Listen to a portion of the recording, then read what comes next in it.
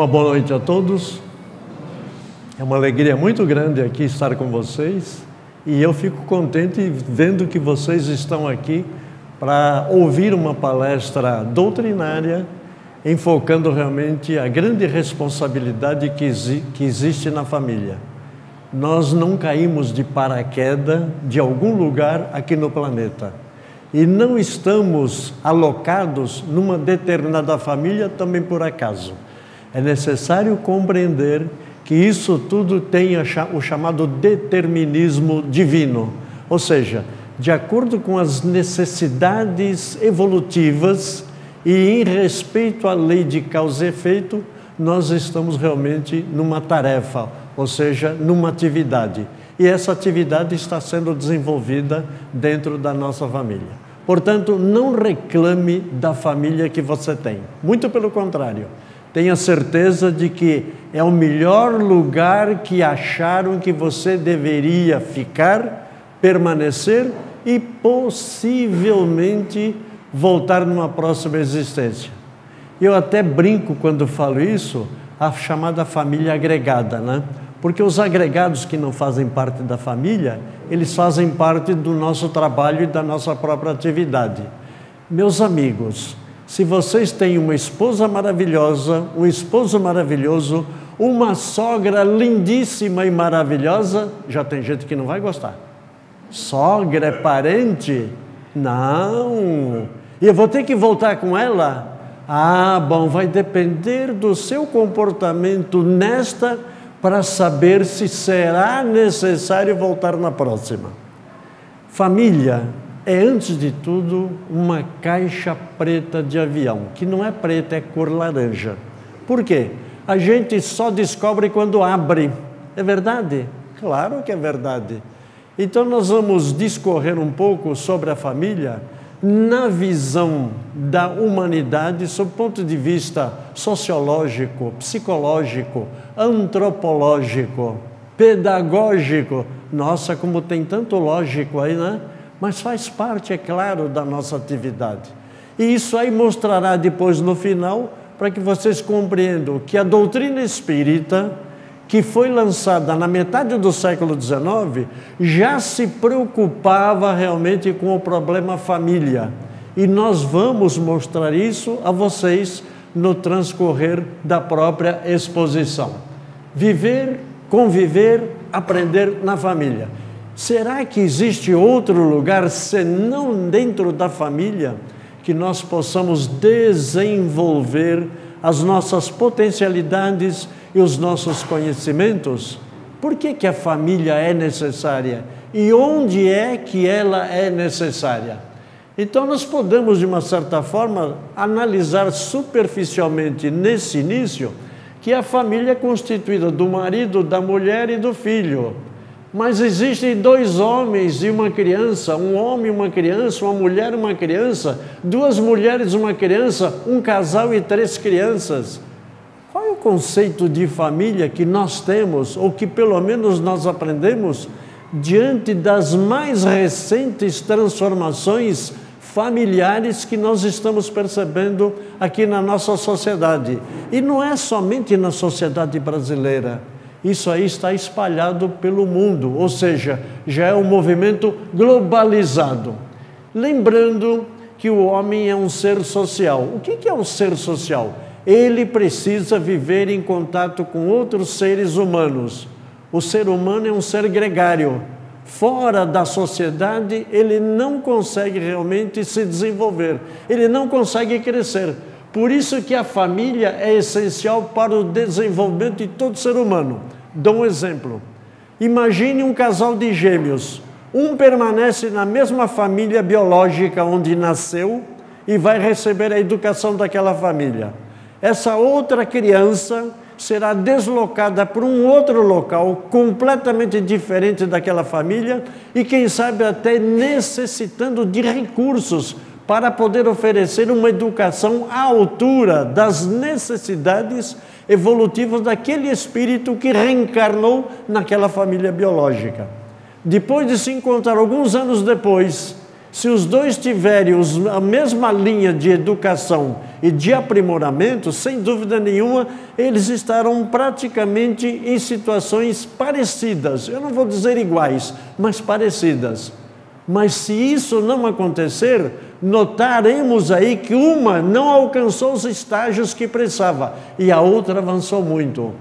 Essa diferença que gera a chamada desigualdade social é que nos leva a refletir realmente da necessidade do homem ser um ser que precisa, como ser humano, da família para dar toda a sustentação que ele precisa.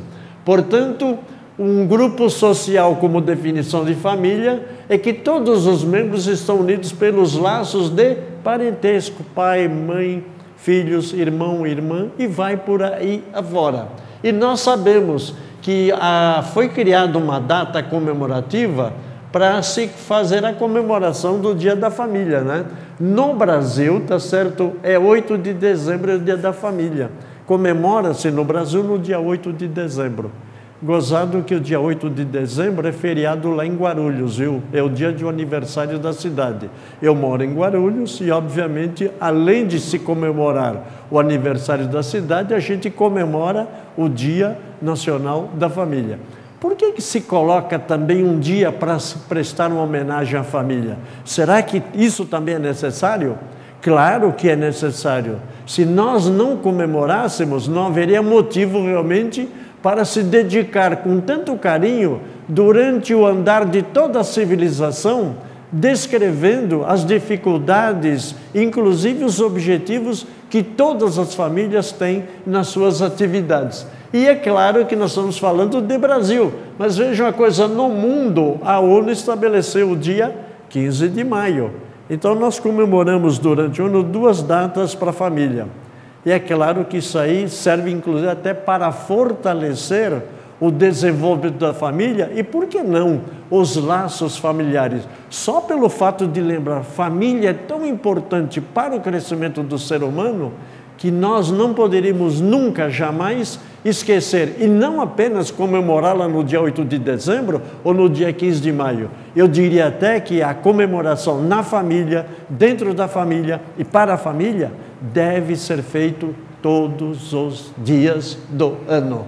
Olha só que família fantástica, né? Agora, problemas sociais, isso envolve a família? Claro que envolve. É o grande desafio das famílias pelo mundo. Onde quer que nós estejamos, nós vamos sempre encontrar uma família. E essa família alocada dentro daquele ambiente social forma aquela sociedade que, por sinal, é um grupo que está separado ou que está localizado nas diferentes partes do planeta, mas que não deixa em nenhum momento de ter a sua constituição conhecida como nós sabemos. Ou seja, existe um pai, existe uma mãe, existem os chamados os filhos. Então, são dois os aspectos que nós temos aqui que comentar. Não é? Esses dois aspectos a nível global é enfrentar e superar. Enfrentar o quê? As injustiças. E olha, não são poucas. A violência, nós temos coisas da violência, o ódio, falta de amor, o desrespeito à dignidade da vida. Sempre lembrando que sempre todas as civilizações valorizaram a vida, inclusive a doutrina espírita questão 880 do Livro dos Espíritos. O maior direito natural do ser humano é de viver. E dentro de uma família existe, no mínimo, um casal. Esse casal tem o direito à vida. E é claro que tem realmente que enfrentar esses desafios. E mais do que isso, superar os mesmos desafios deste momento, porque são os desafios atuais de natureza sociopolítico, econômico, cultural no mundo sobre a vida e a sobrevivência da família. É tão importante valorizar a família que chega-se até a admitir que o relaxamento dos laços da família acaba conduzindo realmente os seus integrantes a uma atitude egoísta. E o egoísmo é o pior de todos os vícios conforme os nossos benfeitores espirituais nos ensinam na doutrina espírita, questão 913 do livro dos Espíritos. Mas a família, na verdade, ela pode ser subdividida desta forma. Essa análise aqui foi feita pelo saudoso. Deixa eu ver se eu lembro o nome do nosso querido amigo que já desencarnou. Depois eu falo para vocês. Quem começou a escrever o livro é, os, os, os, Problemas Humanos e os Seus Grandes Desafios foi o Diolindo Amorim. Né? E ele escreveu, mas só que ele desencarnou, não chegou a concluir. E a conclusão ficou por conta desse saudoso amigo aí que escreveu Diálogo com as Sombras, Hermínio Correia Miranda. E ele fala lá sobre a família. E ele então faz uma análise, é claro, bem generalizada, mas para nós aqui apenas entendemos o conceito que a família tem o seu lado biológico, que é a vida física, a sociológica, que é a vida social, a produtiva, que é a vida econômica, cultural, que é a vida educativa, a religiosa, que envolve várias crenças.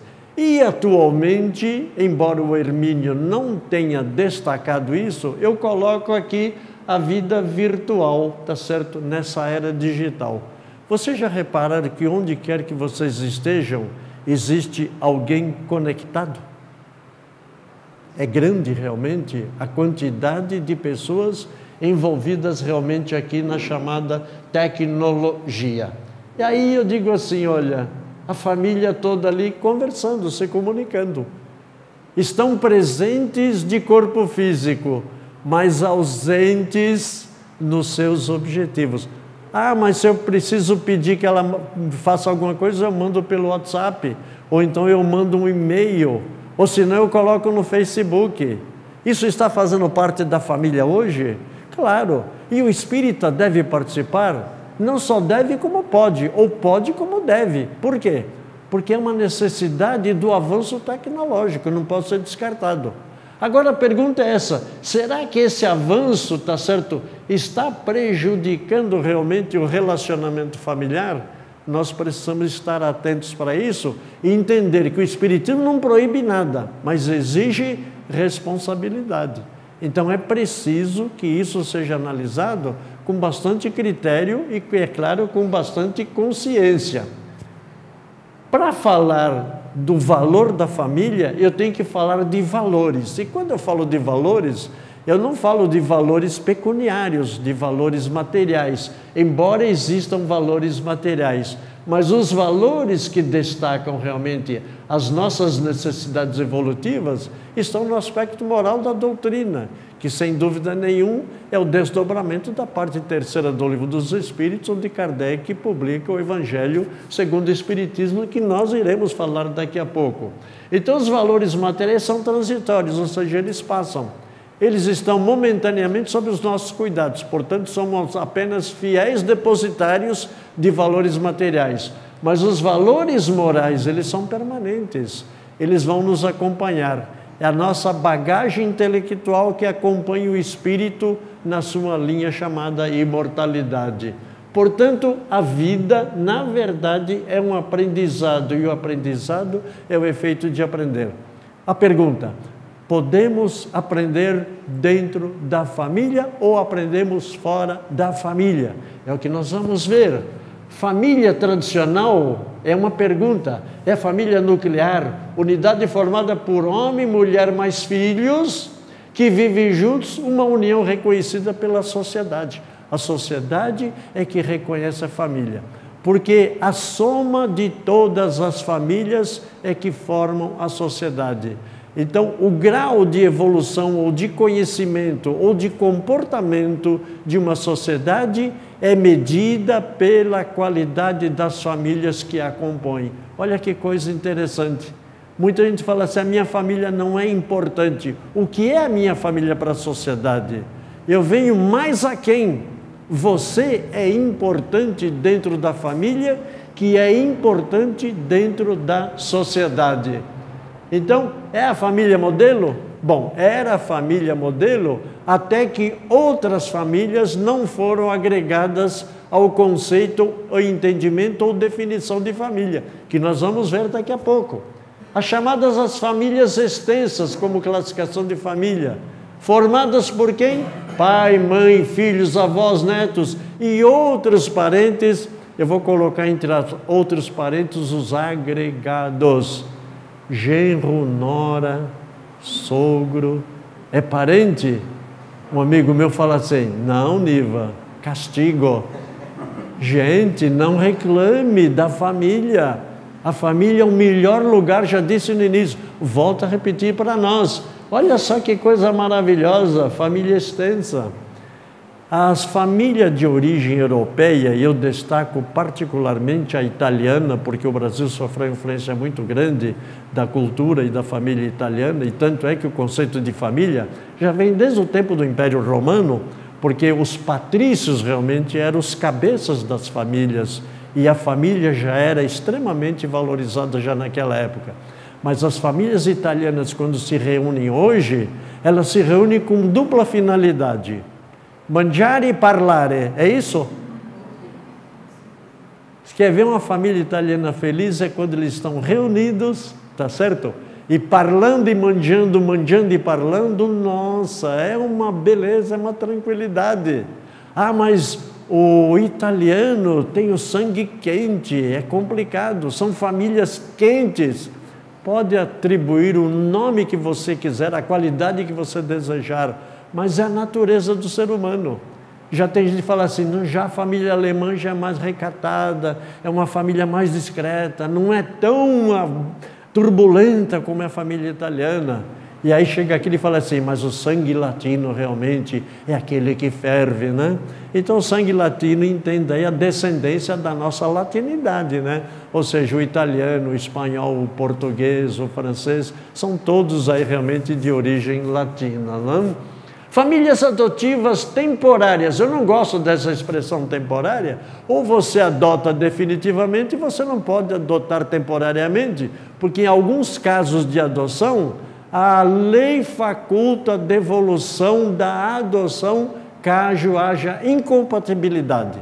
Gente, eu acho uma grande irresponsabilidade perante a si mesmo e perante a própria criança adotada, quando você vai devolver uma criança que foi retirada do ambiente. E olha, conheço casos de crianças que foram adotadas três ou mais vezes e foram devolvidas.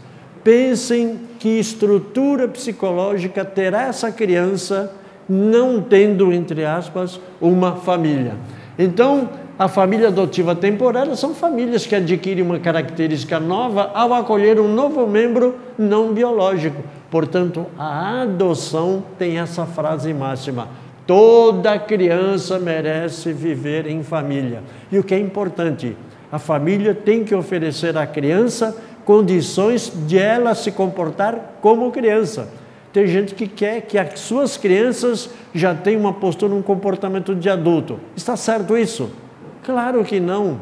A criança precisa viver o seu período de criança e a família tem responsabilidade nisso. Famílias monoparentais. Mono é um. São as famílias chefiadas só pelo pai ou só pela mãe. Ou seja, uma mãe um filho, uma mãe dois filhos, pai um filho, pai dois filhos, família monoparental. Apenas um membro é constituído. E as famílias de casais são as famílias formadas apenas pelo casal sem filhos. Vivem no lar, felizes para sempre. Quando o marido fala, olha, precisamos né, a receber um filho. A mulher fala, não, eu ainda preciso concluir o meu curso, porque senão vou ter que cuidar de criança, vai ser muito difícil. Ou a mulher fala: olha, já está na hora já de nós pensarmos no nosso filho e na nossa filha, mas o marido tem outros objetivos. Então, esses chamados aos casais, famílias de casais, na verdade, é aqueles que vivem isolados sem ter realmente a presença, pelo menos ainda, de um filho. E hoje, como existe uma tendência natural das famílias serem diminutas, eu digo que a grande maioria hoje procura ter um ou dois filhos no máximo, tanto é que quando as pesquisas mostram o número de filhos dentro de uma família, a tendência realmente é diminuir. No passado, a família era numerosa, nós vamos mostrar inclusive isso no slide, a grande quantidade de filhos. Hoje, muita gente está optando pela simples presença de um único filho, geração de um único filho ou adoção de um único filho. Eu digo isso por quê? Porque não dá para gerar ou adotar meio filho, né? Eu sempre falo da minha filha, tá certo que diz assim, ela tem um filho só, né? Pai, filho, dá trabalho, custa caro, dura muito. Ou seja, é muito complicado. Dá para ter muitos filhos na atual situação socioeconômica que nós estamos enfrentando? É preciso ou importante que tenha um filho que seja bem assistido, bem amparado, bem educado, bem escolarizado, do que ter vários deles sem ter essa oportunidade. Ah, mas você esquece que o espírito é imortal, ele terá outras oportunidades. O momento agora, eu sei o que está acontecendo, mas e o futuro? O futuro ainda não existe, o futuro vai ser construído, mas mesmo assim o espírito é imortal, terá oportunidades, se não for neste mundo, será nos outros mundos. Sem dúvida nenhuma, e até em outras famílias. E as famílias de casais homossexuais? Se eu falasse isso há 60 anos atrás, eu chocaria ou escandalizaria as famílias tradicionais que acham que casal é homem e mulher. E nós já mostramos aqui logo no início que já existe uma outra classificação de mulher que nós estamos mostrando aqui. Famílias constituídas por pessoas do mesmo sexo vivendo maritalmente.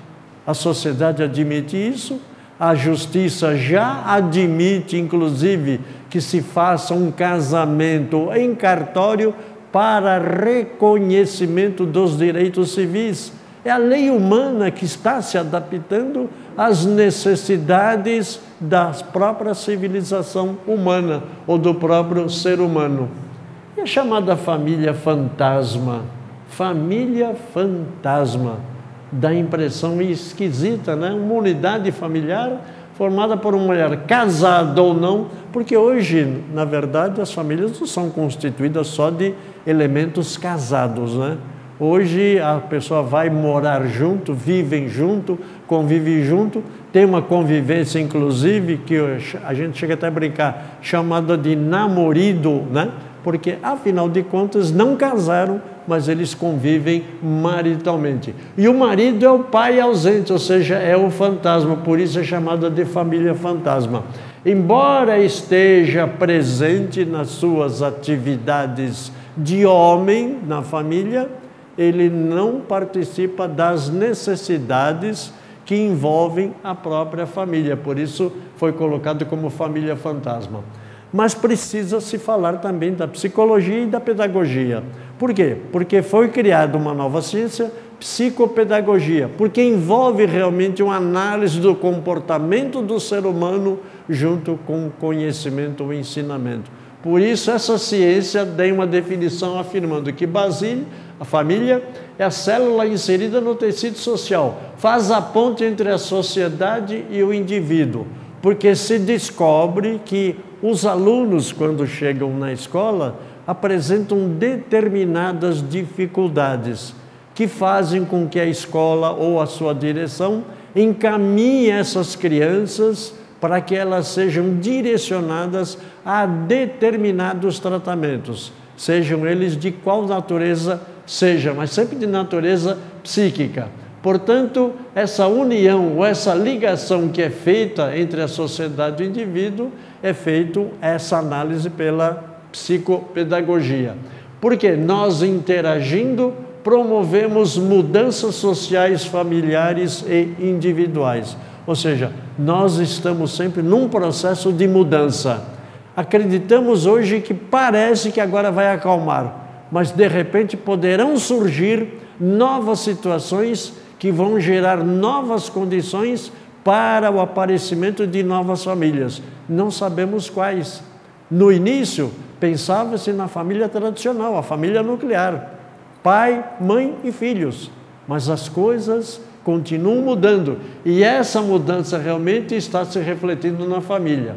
E uma delas, o que acontece são as mudanças nas dificuldades, a relação familiar torna-se extremamente frágil. Por quê?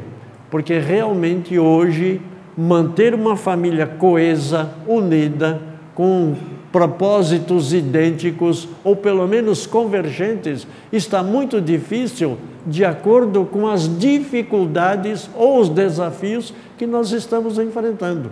Isso tem que ser analisado. Então, esse quadro que a gente mostra aqui, sem dúvida nenhuma, não é nada favorável para realmente a estruturação da família. Muito pelo contrário, cria-se um ambiente hostil, onde as pessoas apenas dividem o espaço físico, que é a residência, e representam um grande prejuízo para os filhos.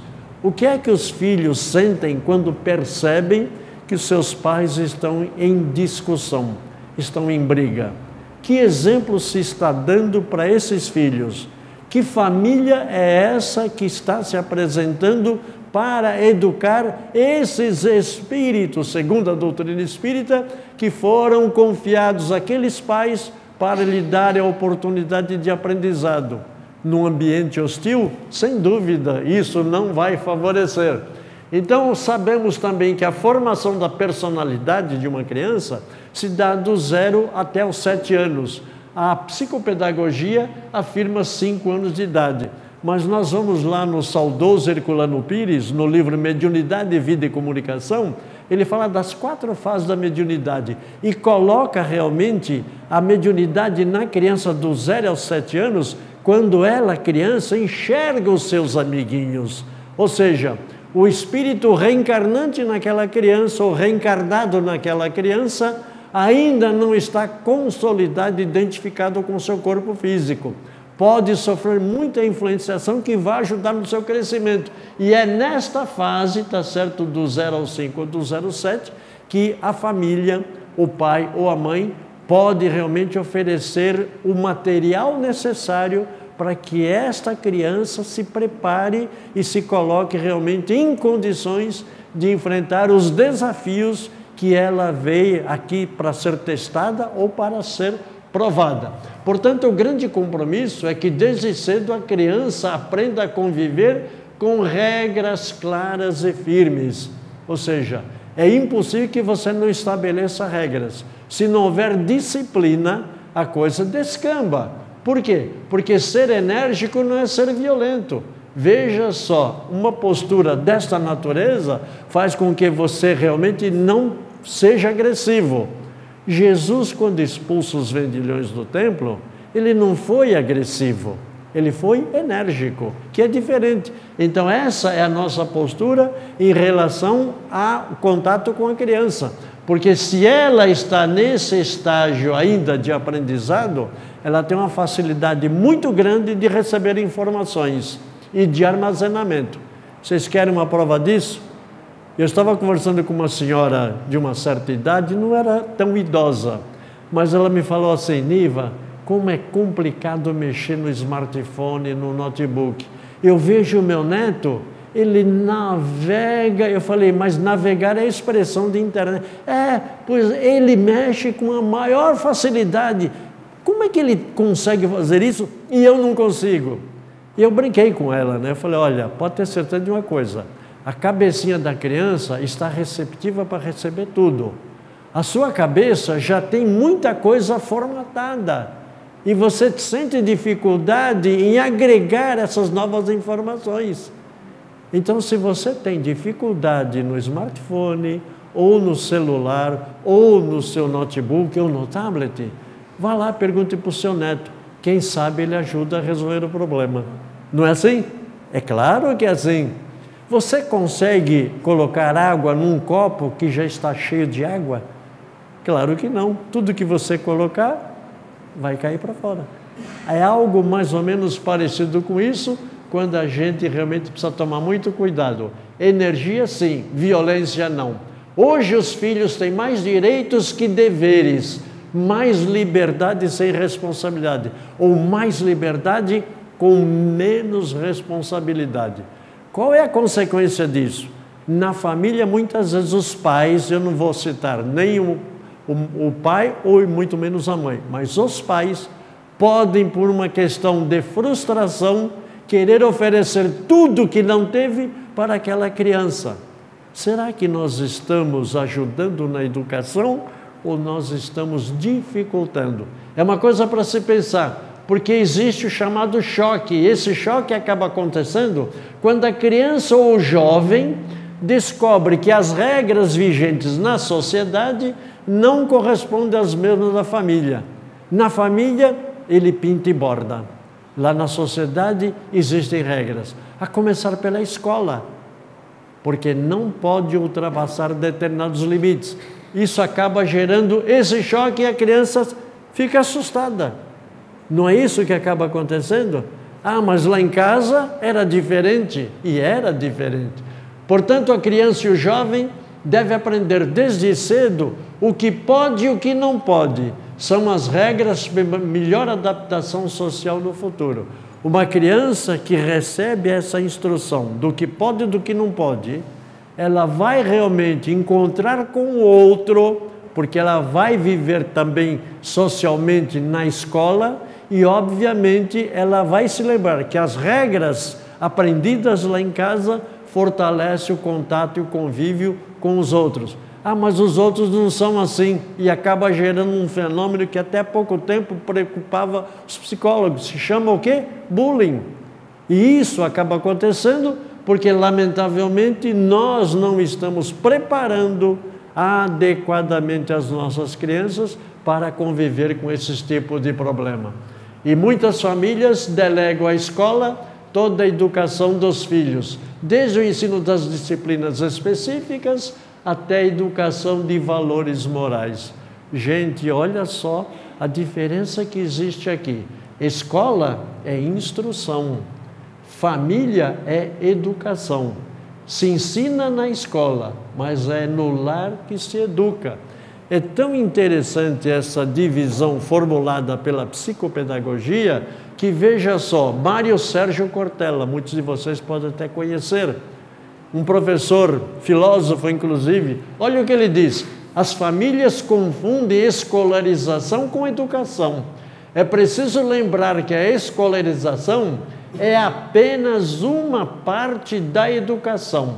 Educar é tarefa da família. Olha só, educar é tarefa da família mas os pais acreditam que os filhos, sendo colocados na escola, vão receber a mesma educação que receberiam no lar. Lê do engano. Ou já se sabe e já se distingue e já se separa realmente essa situação que nós estamos enfrentando. Educação realmente e ensinamento, ou seja, conhecimento. Então, escolarização com educação é diferente. E a responsabilidade familiar sobre esse aspecto? Olha só, em relação aos filhos, eu tenho família desequilibrada que vai gerar futuras famílias. Família equilibrada que gerarão futuras famílias. Essas futuras famílias somos nós hoje em relação aos nossos pais no passado. Chegamos numa fase em que os nossos filhos, ao atingirem a maturidade necessária para constituir, constituírem as suas próprias famílias, eles estarão enfrentando novos desafios. Mas isso aqui não significa que uma família desequilibrada vai gerar uma família futura desequilibrada. Aqui posso cruzar neste sentido futuras famílias que serão também equilibradas. E quantas vezes famílias equilibradas acabam gerando futuras famílias desequilibradas? Nós temos aí uma afirmação: não é a garantia de nascimento que vai dar moralidade para um nascituro, uma criança que nasce num berço de ouro, ou seja, no palácio, e aquela que nasce lá na favela, nasce lá na comunidade. Muitas vezes aquele que nasce no berço de ouro será um rebelde em relação às regras sociais, conforme nós mostramos anteriormente. E aquela que nasce na favela ou na comunidade, em função da sua própria personalidade, da sua própria índole, assistido pelo bom comportamento dos seus pais, mesmo num ambiente não favorável, acaba gerando futuras famílias equilibradas. É uma coisa em que, inclusive, a psicopedagogia analisa e estuda hoje como uma das diretrizes para a boa formação das futuras crianças que serão os adultos. Porque tanto uma como a outra vai enfrentar o quê? Violência, drogas, prostituição, pedofilia, marginalidade. E sem falar dos próprios riscos que envolve na própria atividade de locomoção. Você sabe que seu filho sai na perua escolar, mas se a perua escolar sofrer um acidente no percurso e vier a desencarnar, você vai ficar, de uma certa forma, chocada.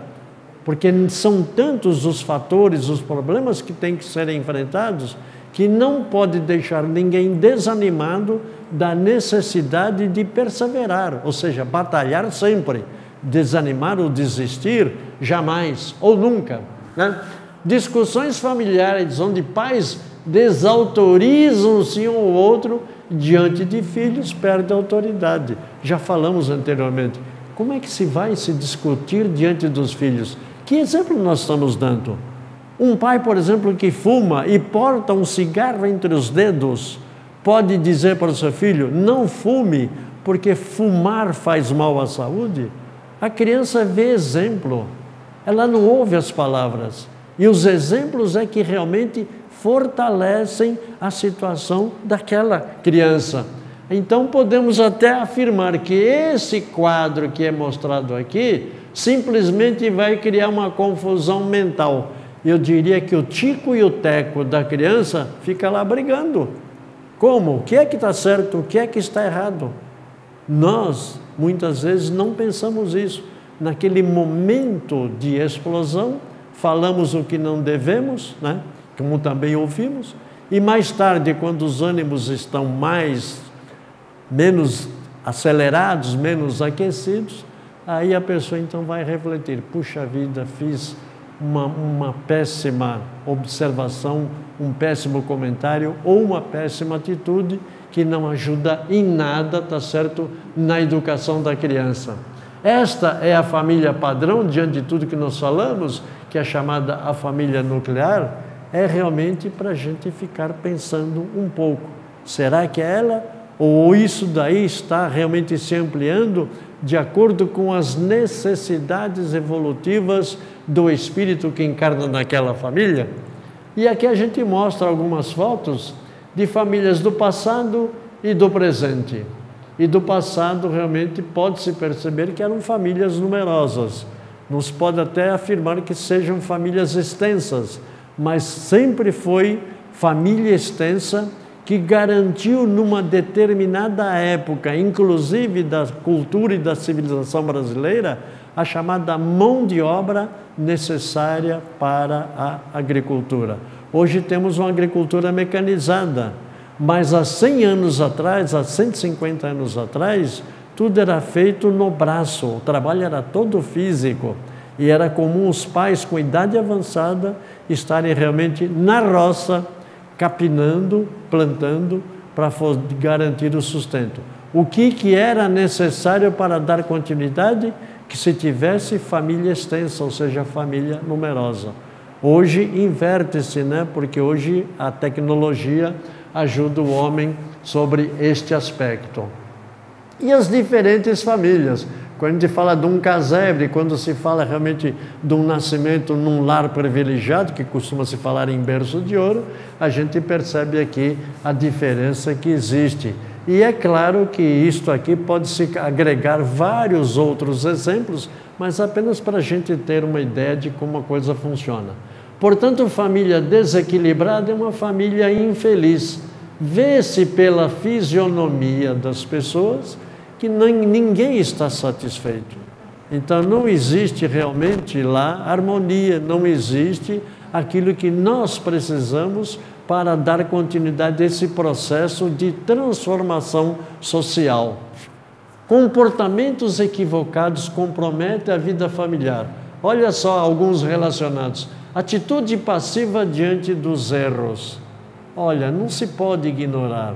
O erro ou o mal é sempre o mal e não deve ser ignorado. Pelo contrário, olha, se vamos no Evangelho capítulo 10, do item 19 até o 22, nós vamos lá que São Luís dá uma lição para nós. Ele diz claramente: não se pode excluir o mal onde o mal existe, não queira não ver o mal onde o mal está presente.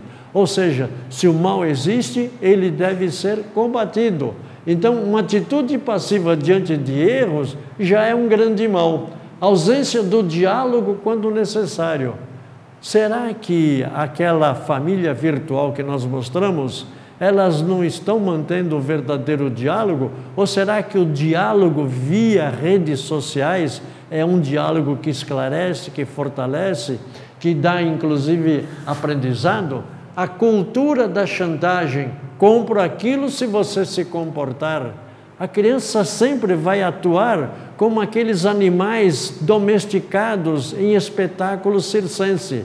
Ou seja, faz lá o seu, o seu, o seu salto, ou faz lá a sua apresentação e em seguida ganha o doce. Porque se não der o doce, ele não vai repetir.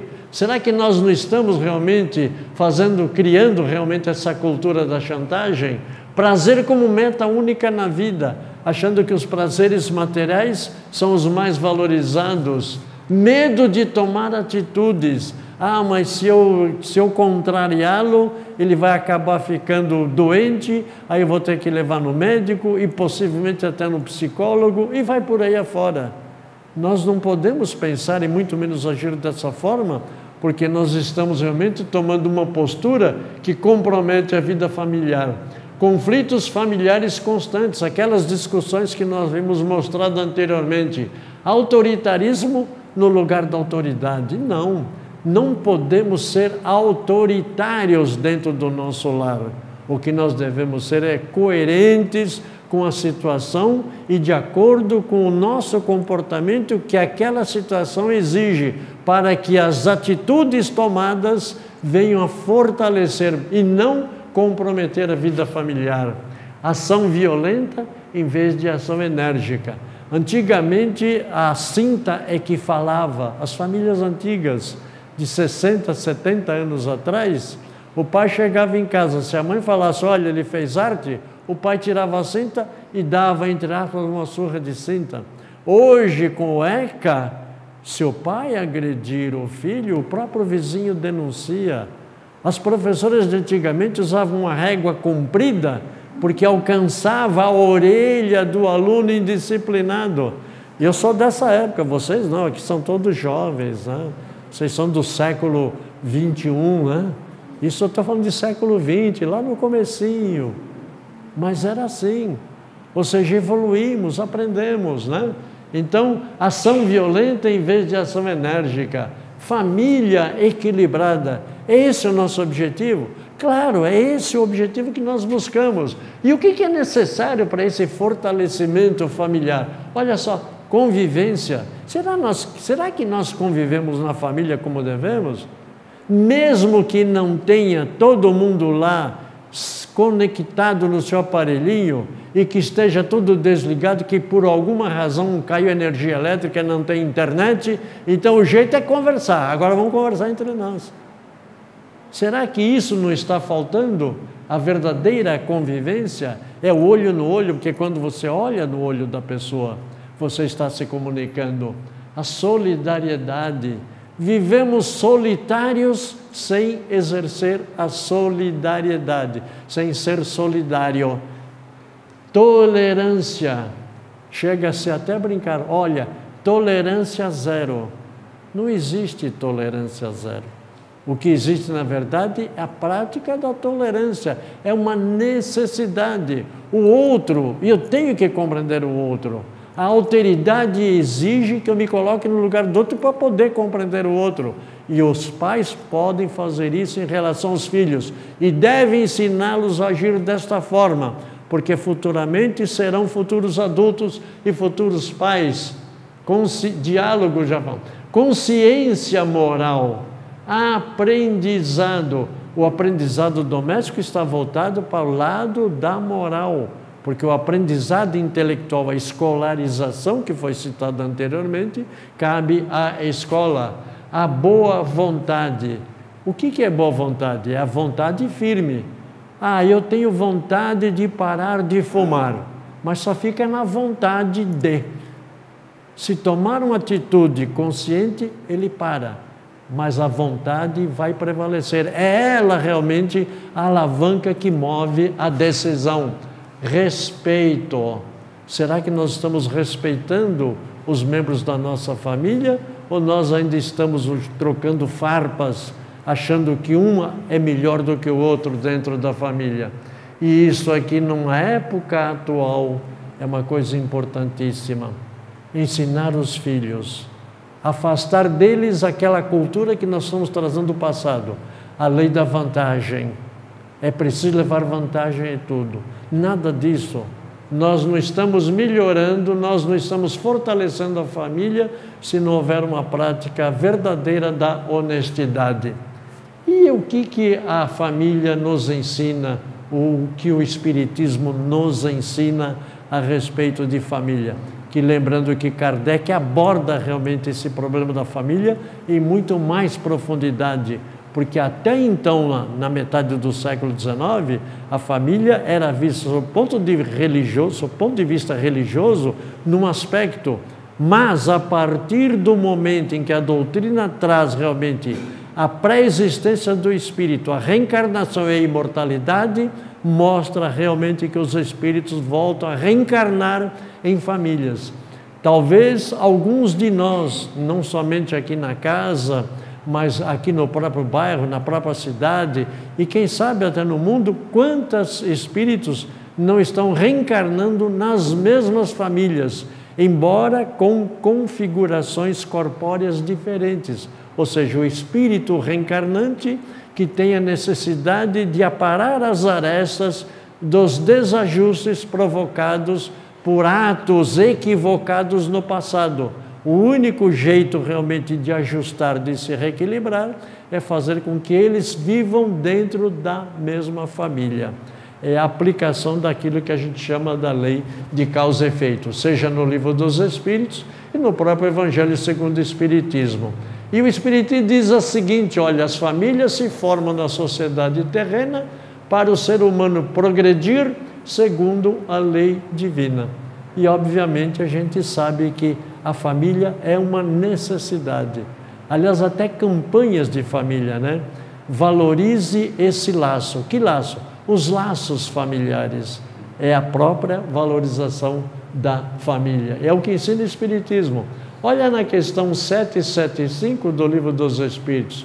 Qual seria para a sociedade o resultado do relaxamento dos laços de família? Eu até destaquei ali por quê? Porque que, o que é relaxar? Relaxar é abandonar. Deixa do jeito que vai. Não se preocupe. Vai, vai acontecer mesmo. Nada disso, se não houver realmente uma convicção de que a coisa está errada e tem que ser modificada, nós estamos provocando o relaxamento dos lados da família, da família. E os benfeitores espirituais deram essa resposta, um recrudescimento do egoísmo. O que, é o egoísmo? É o ego, eu. O egoísta é aquele que só pensa nele. Se ele pensa nele, ele esquece dos demais membros da família.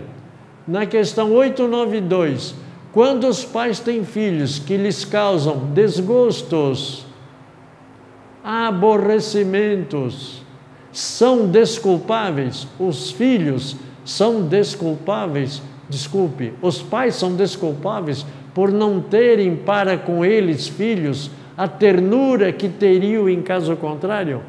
Todo mundo quer ter um bom filho. Aliás, quando se, entre aspas, encomendava um filho, todo mundo falava assim: que venha perfeito e com saúde. Hoje não se pode mais falar isso, né? Porque com a zika circulando aí através do Aedes aegypti, a microcefalia já vai mostrar realmente que a criatura não é perfeita. Fisicamente falando, não é que a microcefalia está atingindo o espírito, hein? É somente o corpo físico. Então, o que, que os benfeitores responderam? Não. Mas esses desgostos, esses aborrecimentos, são frequentemente o resultado dos maus costumes que os deixaram tomar desde o berço. Os pais colhem então o que semearam. Lembra que eu falei que do 0 ao 5 ou do 0 ao 7 você pode moldar a estrutura da criança? Não é que você vai alterar. A criança traz a sua índole, a sua personalidade, mas você vai injetar nela valores que precisam ser aprendidos para que ela possa se melhorar. Ela veio numa situação, mas ela precisa progredir, ela precisa avançar. E esse avanço só se consegue se houver realmente uma dedicação por parte dos pais. Há um ditado do caipira que diz assim: ó, pau que nasce torto não tem jeito, morre torto. Hoje o agricultor sabe que é mentira. Você pode colocar uma estaca lá, amarrar ele e bem ou mal você vai conseguir colocá-lo. Existe uma árvore que chama cibipiruna, a característica dela é toda torta. Eu fico imaginando, nossa, ninguém teve ainda o bom senso de colocar uma estaca para endireitar a cibipiruna, desde pequenininha, porque depois que cresceu não adianta nada. Existem duas espécies de famílias, capítulo 14, honrai pai e mãe, evangelho segundo o espiritismo. Família pelos laços espirituais e pelos laços corporais. Aqui eu entro no Herculano, livro Curso Dinâmico de Espiritismo. Três tipos de família: carnal, mista e espiritual. Então, a carnal é aquela que a família encerra o, o, o tempo de validade no planeta, ou seja, chegou a morte e vai embora. A família mista envolve a carnal e a espiritual. De acordo com as suas ações, elas poderão inclusive retornar na mesma família ou em outras famílias, mas para amoldar-se às novas necessidades, às correções que precisam ser feitas. E a família espiritual é aquela que já alcançou todos os estágios. Por isso Kardec é feliz quando os amigos espirituais dizem assim: as famílias né, são distribuídas pelos laços espirituais e pelos laços corporais de acordo com o seu grau evolutivo, porque os laços de sangue não estabelecem necessariamente os laços espirituais. Não existe DNA para laços espirituais. O corpo procede do corpo, mas o espírito não procede do espírito. Completamente diferente. Os pais fornecem apenas o envoltório corporal dos filhos, o DNA físico, e deve ajudar seu desenvolvimento intelectual e moral para os fazerem progredir. Só desta forma está aí a responsabilidade dos pais, a visão espírita de educação, hein? Mas já no capítulo 22, não separar o que Deus juntou, porque o espiritismo não condena o divórcio. O, o, divórcio é um ato que separa de direito o que já estava separado de fato, né? Então, na união conjugal, ao lado da lei divina material, existe outra lei divina imutável, exclusivamente moral, que é a chamada lei do amor. Deus quis que os seus seres se unissem pelos laços carnais e pelos laços da alma, para que sejam dois, pai e mãe, em vez de um, para amar os filhos e fazê-los progredir. Veja que essa resposta dos Espíritos está focando quem? A família nuclear. Reflexão. Vivemos numa sociedade em constante transformação social. Conhecimentos que levavam séculos para mudar, agora mudam em questões de décadas ou meses. Portanto, nunca o conhecimento e aprendizado foram tão valorizados como atualmente. Olha a importância do conhecimento. Lembram-se quando Jesus fala: Conheça a verdade e a verdade te libertará? É a aquisição de conhecimento que leva no caminho da verdade. Então, para valorizar a família, comece a ver o mundo de uma forma diferente que antes não conseguia ver, porque nós olhávamos a família de uma forma diferente. Hoje, nesse decálogo aqui, olha, Fazer o bem é agir com equilíbrio, a escolha com sensatez, a prática das virtudes, vivenciar justiça, sentir com o coração, mas julgar com a razão, ser amigo, cultivar o amor, porque tudo isso aí, esses nove itens, conduz para quê? Para a felicidade. Seja feliz na família e custa tão pouco e não é difícil. A revista Época mostrou numa determinada, numa determinada época, tá certo? A nova família. Metade das famílias brasileiras já não segue o modelo tradicional de pai, mãe e filhos de um único casamento. Ou seja, é um assunto que está em evidência, é um assunto atual, faz parte do passado da civilização, faz parte do presente e continuará no futuro. Importante de uma família não é viverem juntos, porque muitas vivem juntos, mas vivem em constantes desentendimentos. O importante é estarem unidos. É a união que faz a força da família. Conclusão: o assunto está encerrado? Claro que não não se fecha a questão e muito menos o assunto se encerra, porque tem muito mais coisa para se desenvolver e falar e tratar do que seja família. Portanto, tradições e costumes culturais mutantes que estão em mudança exigirão novas posturas da sociedade para vencer os futuros desafios sociais que virão, porque nós não sabemos quais são esses novos desafios. Apenas para reconhecer os créditos e se vocês quiserem saber mais, o livro dos Espíritos que eu mostrei, o Evangelho segundo o Espiritismo, Viver em Família, edição da Federação Espírita Brasileira, A Família, o Espírito e o Tempo da USE, o Espiritismo e os Problemas Humanos do Deolinda Morim e o Hermínio Correia Miranda faz a parte da família.